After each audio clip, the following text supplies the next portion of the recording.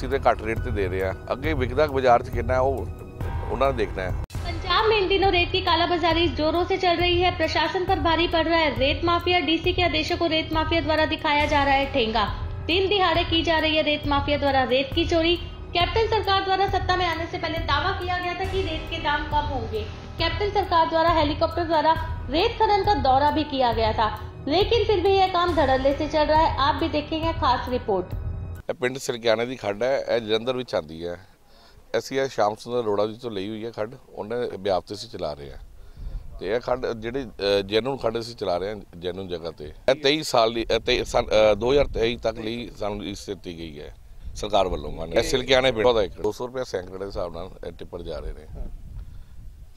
ਇੱਕ ਤੇ ਜਿਹੜਾ ਸਾਨੂੰ ਸਰਕਾਰੀ ਟਾਈਮ ਮਿਲ ਰਿਹਾ ਉਸ ਹਿਸਾਬ ਨਾਲ ਆਪਾਂ ਗੱਡੀ ਚਲਾਉਂਦੇ ਹਾਂ, ਮਤਲਬ ਗੱਡੀ ਚੱਲਦੀ ਹੈ ਉਸ ਤੋਂ ਬਾਅਦ ਇੱਕ ਜਿਹੜੇ ਟਿੱਪਰ ਵਾਲੇ ਹੈਗੇ ਆ ਇਹਨਾਂ ਦੇ ਆਪਾਂ ਉੱਪਰ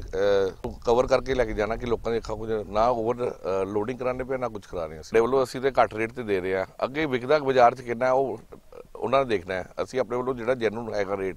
रेत माफिया और सरगर्म होकर काम कर रहा है हमने जब सिलकियाना गांव में रेत की खान पर जाकर सर्वे किया तो यहाँ पर ठेकेदार ने बताया कि 200 प्रति सैकड़ा के हिसाब से टिप्पर भरकर भेजे जा रहे हैं मार्केट में ये क्या रेट बिकता है उन्हें इससे कोई लेना देना नहीं इससे अंदाजा लगाया जा सकता है कि सरकारी खजाने को किस कदर चूना लगाया जा रहा है गांव वासियों का कहना है कि हमारे गांव की जमीन से धड़ल्ले से रेत की कालाबाजारी की जा रही है इस दौरान गांव वासियों का यह भी कहना है कि कई बार उन्होंने विभाग को इसकी शिकायत भी की मगर कोई भी कार्रवाई नहीं हुई ਅ, ਮੈਂ ਜਿਹੜਾ ਇਸ ਪਿੰਡ ਦਾ ਅ, ਸਾਬਕਾ ਸਰਪੰਚ ਆ ਪਿਛਲੀ ਵਾਰ ਮੈਂ ਸਰਪੰਚ ਸੀਗਾ ਰੈਪੁਰਾਈਆਂ ਦਾ ਵਸਨੀਕ ਆ ਸਾਡੀ ਜ਼ਮੀਨ ਜਿਹੜੀ ਦਰਿਆ ਦੇ ਅੰਦਰ ਪੈਂਦੀ ਰੈਪੁਰਾਈਆਂ ਦੇ ਵਿੱਚ ਸਾਰੀ।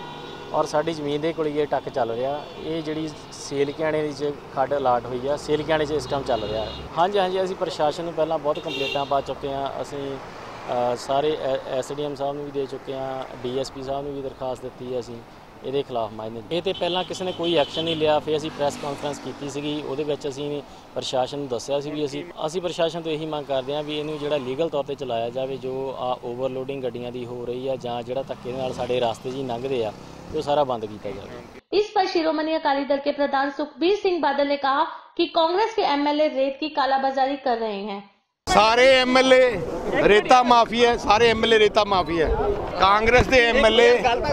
ਰੇਤਾ ਸ਼ਰਾਬ ਵੰਡਣ ਤੇ ਲੱਗੇ ਆ।